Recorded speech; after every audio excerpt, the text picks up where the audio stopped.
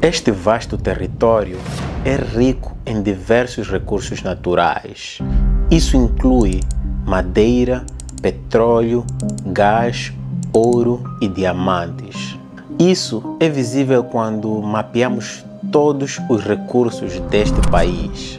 De facto, o território é rico, mas o país ainda continua um dos países mais pobres do mundo. Parte disso é que a história é profundamente moldada pela extração de recursos que nunca beneficiou as comunidades locais. E aqui estamos em 2023 e o Congo é a peça-chave para a transição energética que o mundo tanto precisa, porque detém 70% deste mineral, o cobalto. Cobalt. Cobalt. Cobalt. Cobalt. Cobalt. Este mineral azul que tem um propósito muito útil no crescente mundo dos veículos elétricos, mas será que isso tem sido uma benção ou uma maldição para a República Democrática de Congo? Vieram de fontes renováveis, de energia limpa, continue avançando. Ok, o mundo está agora a passar por uma mudança na forma de como usamos e produzimos energia. E o cobalto é um material essencial para a produção de baterias. Desempenha um papel crucial na revolução tecnológica e na transição para energias mais limpas. No entanto, a extração de cobalto no Congo é controversa devido a questões sociais, ambientais e econômicas complexas. Este vídeo explorará as diferentes facetas dessa indústria e os desafios que ela enfrenta. E o ponto principal é como o país que detém a maior reserva deste mineral valioso vai se beneficiar ou será que vai se beneficiar? E também quem vai controlar esse novo mineral valioso no futuro, porque o cobalto está presente em baterias de carros elétricos, telemóveis, literalmente cobalto está presente no nosso dia a dia. Mas antes de falarmos de cobalto, temos de entender um pouco sobre a história desse país. E honestamente, esse deveria ser um dos países mais ricos do mundo, porque está sentado por cima dos recursos mais valiosos do mundo. Mas, infelizmente, é um dos países mais pobres do mundo. As pessoas aqui nunca tiveram oportunidades de provar das riquezas do seu país, porque sempre foram saqueadas por forças externas. Seja as pessoas serem vendidas como escravos ou um rei europeu brutal forçar e tornar este país uma colônia privada para extrair borracha. Ou mais recentemente, o diamante de sangue. O que eu quero dizer é que este lugar foi pilhado durante anos por causa dos seus recursos. E então, aqui estamos em 2023 e a nova mercadoria quente não é a borracha ou o diamante, é o cobalto. Este mineral azul que costumava ser usado para cerâmica e hoje tem um propósito muito útil no crescente mundo dos veículos elétricos. O mundo está nessa fase em que todas as fabricantes de automóveis estão a trabalhar para ter carros elétricos e que possam andar por vários quilômetros. E o cobalto é super importante para os carros elétricos poderem percorrer longas distâncias sem precisar recarregar várias vezes. E melhor ainda, sem qualquer risco de explosão. Cobalto realmente decolou nos últimos 10 a 12 anos atrás. Aqui é um pequeno pedaço do Congo onde costumava ser chamado de Katanga. E antes que alguém soubesse o que estava a acontecer, o governo chinês, as mineradoras chinesas assumiram o controle de quase todas as grandes minas. Back in 2008, the Democratic Republic of Congo struck a big deal with Beijing. China's state owned firms would build hospitals and roads in return for revenues from copper and cobalt mines.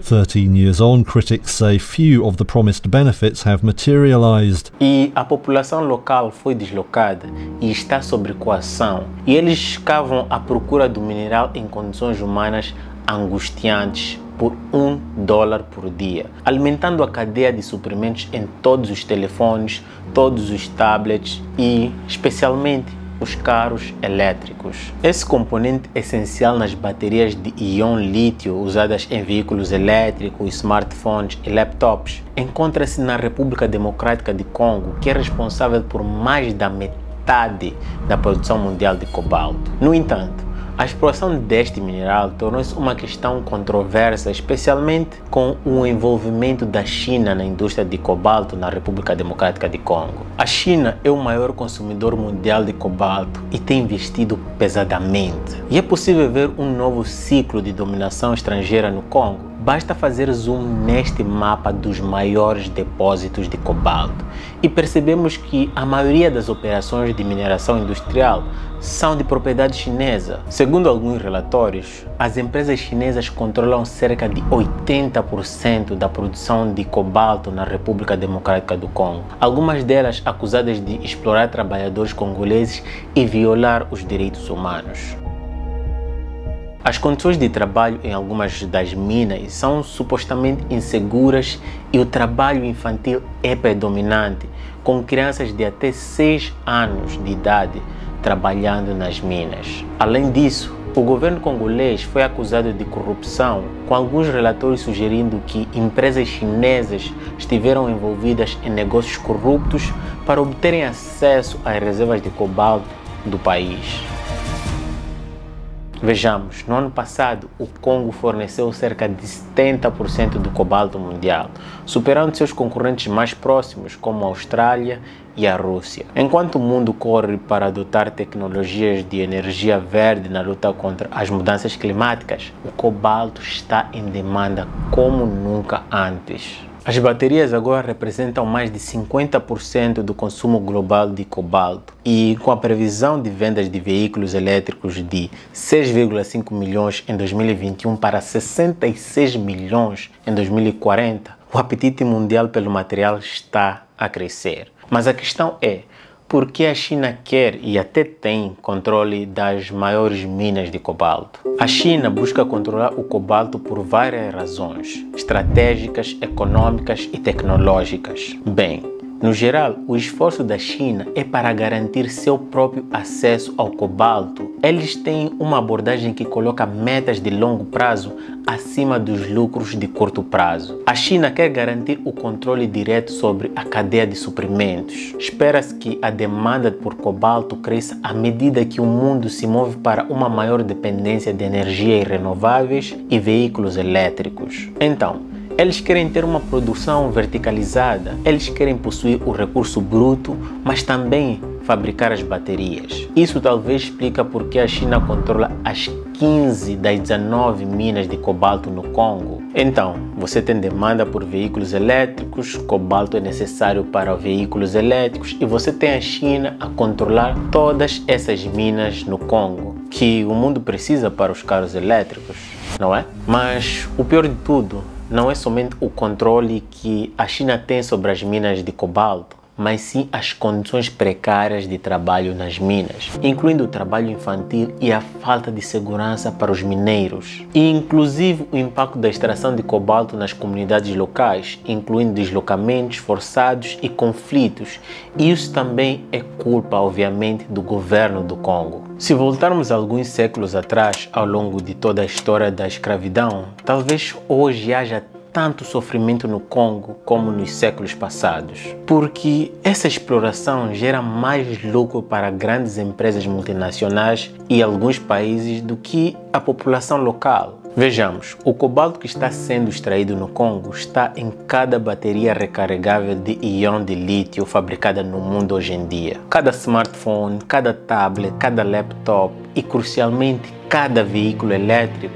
Ou seja, eu e você não podemos funcionar no dia a dia sem cobalto, que vem da exploração de pessoas e três quartos do suprimento sai do Congo. Então, essa é a base da cadeia de suprimentos do seu iPhone, do seu Tesla, do seu Samsung. Estou a nomear essas empresas porque todas, todas elas se beneficiam do cobalto do Congo, inclusive o teu Tecno também.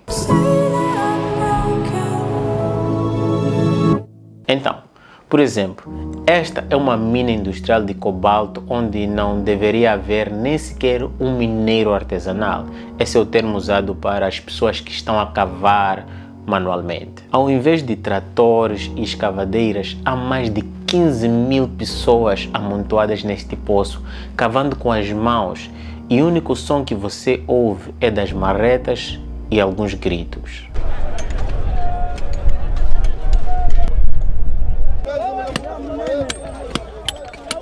Isso mostra que não existe cobalto limpo, que não venha da exploração de pessoas. Vejamos, em 2022, 73% do suprimento mundial de cobalto veio de um pequeno trecho do Congo e em muitas minas de cobalto a força humana bruta é usada. Inclusive, algumas empresas de mineração industrial compram dos mineiros artesanais, misturam junto no mesmo lote de ácidos para processar e depois fluir para a cadeia de suprimentos. E novamente, ninguém pode alegar razoavelmente que seu cobalto é industrialmente limpo. Por isso, muitos analistas dizem que não existe cobalto limpo. It's actually all raw human force that is clanking that cobalt out of the ground. So there's no clean cobalt. I, there's not a single company on planet Earth that makes a device that has a rechargeable battery in it that can reliably and justifiably claim that their cobalt isn't coming from sources like that. Então, a exploração de cobalto na República Democrática do Congo é uma questão complexa, sem soluções fáceis. Embora a demanda por cobalto continue a aumentar, é essencial garantir que o crescimento da indústria do cobalto não ocorra às custas do povo congolês e do seu meio ambiente. E, obviamente, o governo congolês é uma peça crucial para as práticas de mineração sustentáveis que respeitem os direitos humanos, protejam o meio ambiente e garantam, acima de tudo, que as comunidades locais se beneficiem dos recursos minerais. É inaceitável que usem o trabalho infantil, explorem essas pessoas que vivem em uma pobreza inimaginável para suprir uma indústria que tão pouco os beneficiará. Não faz sentido. E quanto à influência e o interesse da China, bem, a China não está a processar esse cobalto ou refinando esse cobalto para exportar para os Estados Unidos ou para apoiar a revolução dos veículos elétricos. Estaríamos a ser ingênuos se pensássemos dessa forma. Eles mesmos, no futuro próximo, bem próximo, farão os carros elétricos e provavelmente baratos. E o melhor que eu e tu podemos esperar é que eles exportem os carros baratos para nós. Ou seja, eles vão controlar o mineral, assim como a cadeia de suprimentos. E é isso. O nosso vídeo termina por aqui. Diz-me o que, é que você acha. E espero que você aí não deite seu telefone e pare de assistir esse vídeo só porque eu falei que o cobalto faz parte do seu smartphone ou algo do gênero, muito pelo contrário, que talvez você partilhe esse vídeo, chegue a mais pessoas e mais pessoas tenham conhecimento disso e quem sabe podemos começar a mudar o, a situação do Congo dessa maneira. Então é isso, o nosso vídeo termina por aqui. Meu muito obrigado, Kuoshikuro, Kanimambo, Asante Sana. É só o começo. Tamo juntos. Peace. Ah, já ia me esquecendo. Por favor, não se esqueça de dar aquele soco no like, partilhar no mínimo com mais 5 pessoas e é isso. Se você quer apoiar ainda mais esse canal, torne-se membro do canal ou do Patreon. Links na descrição. Então é isso. Tchau. Tamo juntos. Peace. Throughout the whole history of slavery, I mean, I'm going back centuries. Never, never in human history has there been more suffering that generated more profit and was linked to the lives of more people around the world. Ever, ever in history than what's happening in the Congo right now.